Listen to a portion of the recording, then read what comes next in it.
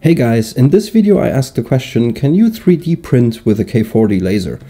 And surprisingly, the answer is um, yes. For some jobs, you can basically um, use the same principles um, of 3D printing by using a laser cutter. You certainly know how a 3D printer works. Um, most of them use a um, PVC or a plastic filament that gets heated and fed through a uh, nozzle and then applied layer after layer until you have a finished 3D object uh, with a pretty high um, detail even. But in our case, the K40 laser is not capable of printing and that sort of thing but we can uh, cut out layers and we can glue them together, which leaves us with a 3D object in the end.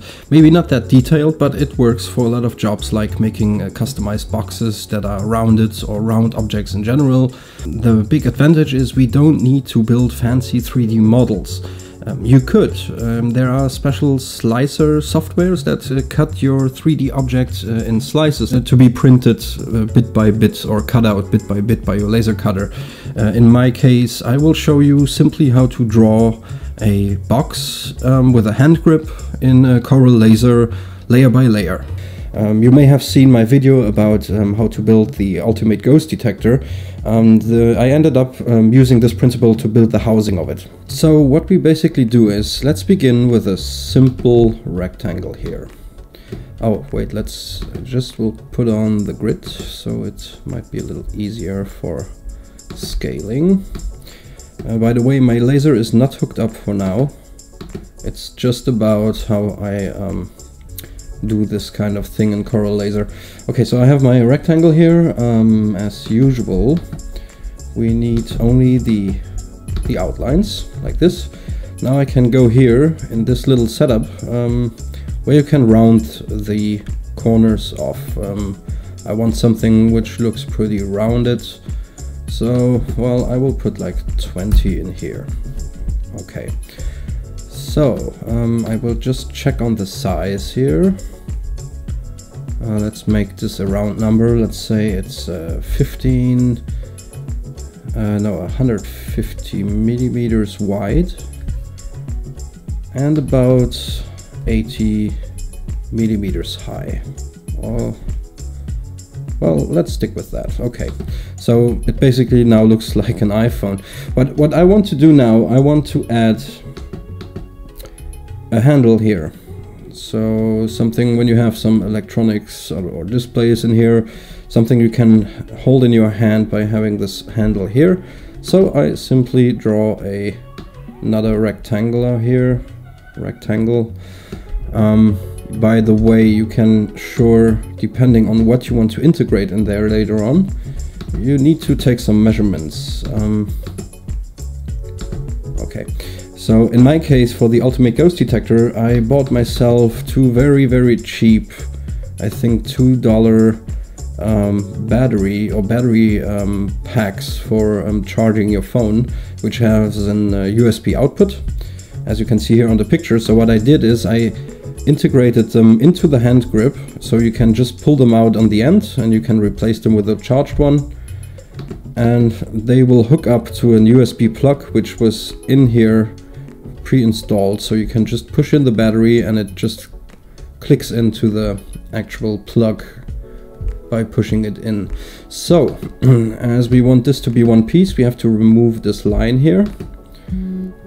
So what I will do is I will get a little bit closer here, like this. this is, then we need to convert to curves to make this rectangular, the hand grip editable. I use my shape tool. I go on this corner here and I say break apart. So what this does is, you see it takes away this line. When I click on this and I press delete, it should delete should delete this line. Well, my laptop is a little bit slow for these applications. There we go. Okay, so now I do the same thing for the upper rectangle. So I convert this to curves. I go to the shape tool. I add a point here and I break this apart. So I can, you see, I can attach this here. As you may have seen, there was a little rounded corner also. Uh, come on. Also on uh, our hand grip here. Want to remove that as well. Taking this away. You just simply hit delete to delete this. And then I connect them up here. Uh, this was too wide again. Unfortunately, I don't have a mouse for now. I'm not at home, but it will work as well like this. Okay, I delete this and I connect this over to this spot here. Well, well, let's get rid of this little thingy here, like this. Okay, good. So we have a basic shape of, let's say, our remote control or handheld remote device. Um, actually, I haven't took the measurements of this size here. I don't want this to be too wide. If not, um, it's not that comfortable to hold in your hand. What you can also do is later on you can sand this down and give it a nice uh, rounded thing uh, form. Okay, so let's say this is our basic shape. And in this case, this would be like our basic layer. Um, saying this is the back plate of our little apparatus here. So what I do, I will connect, I'm going to combine them. I select both of them by using shift and click on them and then I combine them. Now we have one piece. Okay, so this is our basic layer. What we do now is we go and uh, copy this and paste it again.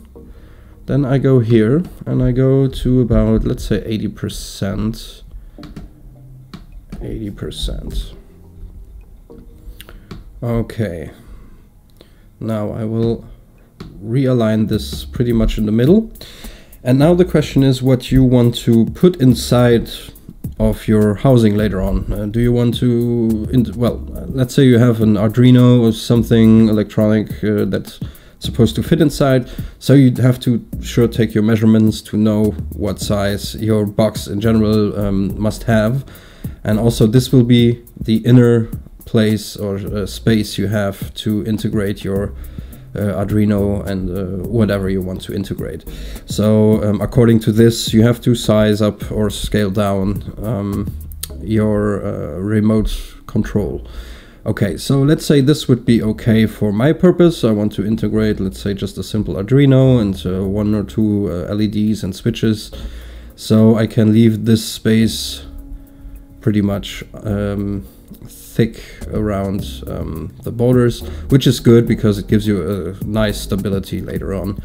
Okay, the only thing what we need to do is we need to um, make this here longer and tighter because this is a little bit too wide. So I have to um, break. No, I actually have to uncombine it first usually. No? Okay, so I need to break this curve apart. And then we have another two objects here. So I will make this a little bit longer.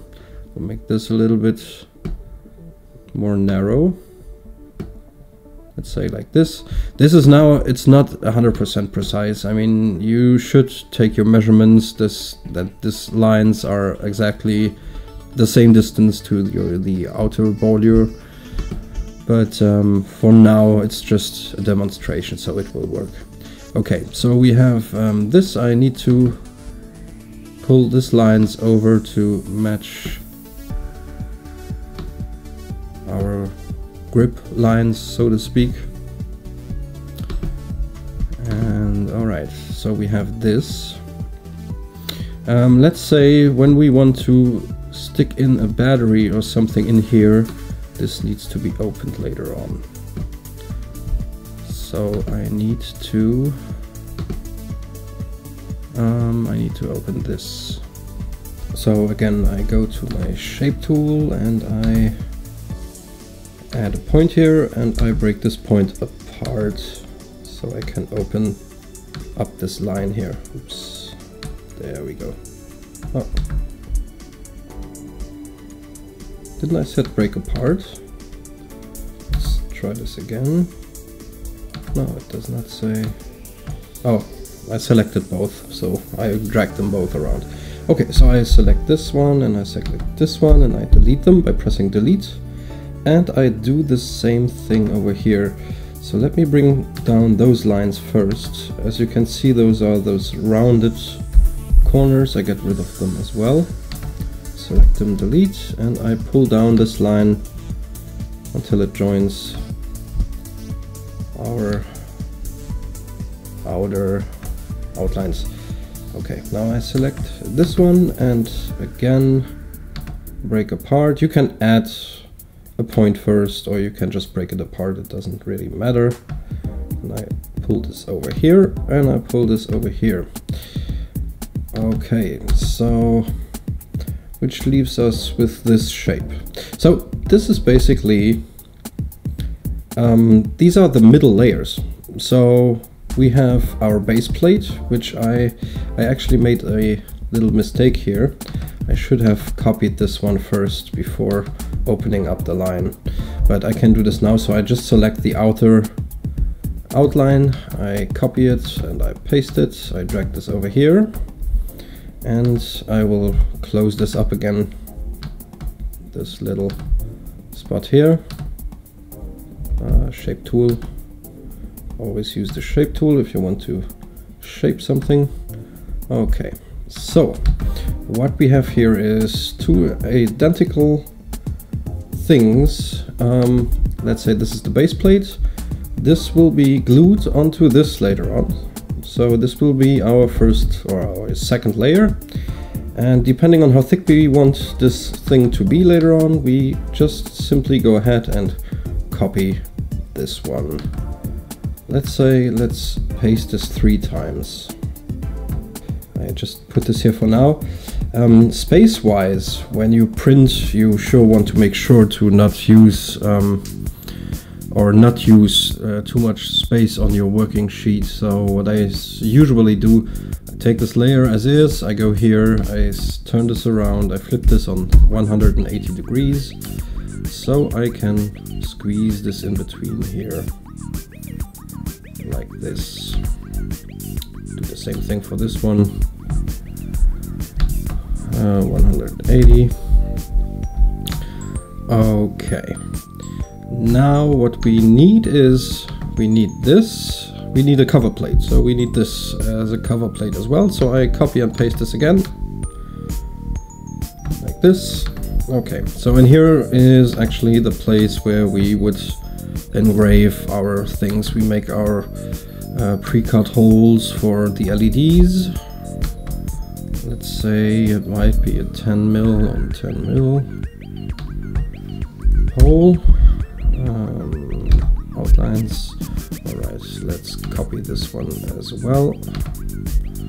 So this is just for demonstration. So we would have like two holes and we have uh, another let's make another hole for the for a switch for example.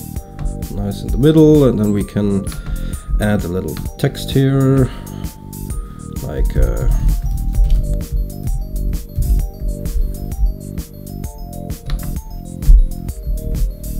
do not push. something something like this. I mean, you see what I what I'm talking about, right? This is basically it. So after this, oh, what you can do as well. Sorry, before I forget it, um, it can be nice when you want to align this later.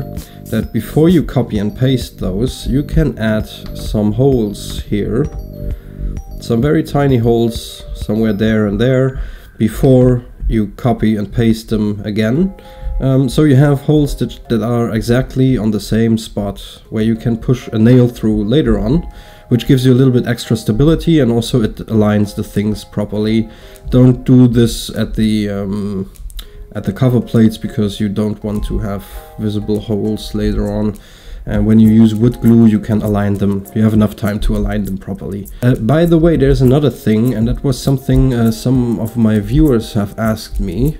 Um, when I go and save this now, let's say we want this saved simply as, let's say it's a, uh, it's a hand grip box.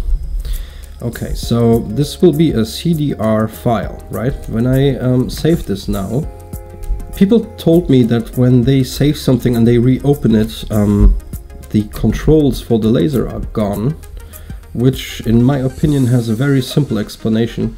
Um, you know, CorelDRAW never really officially licensed something like uh, uh, Corel Laser or Laser Laser Draw. This is something some Chinese company might have established for, you know, as an add-on for CorelDRAW. So the thing is, when you install this and you go to your program files of uh, CorelDRAW, you will see that CorelDRAW is still there. It's CorelDRAW 12. That is uh, the program that comes with your laser, usually.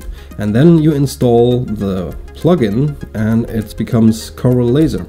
So what this does is it simply uses CorelDRAW and it writes into the directory some sort of coding to have this little controls here um, enabled or integrated into the software.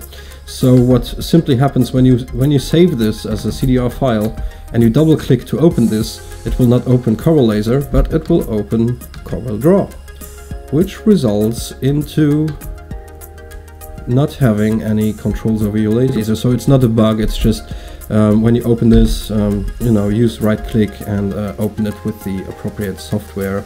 In my case, as I know, um, it's a Corel Laser file. I simply go to my Corel Laser software and I go to open file and I open it from there. So it will open the file in in software, in program, and uh, you will have your proper um, tools for controlling your laser. Okay, that was it. I hope you enjoyed. Please subscribe to my channel and uh, leave me a comment. Until then, see ya.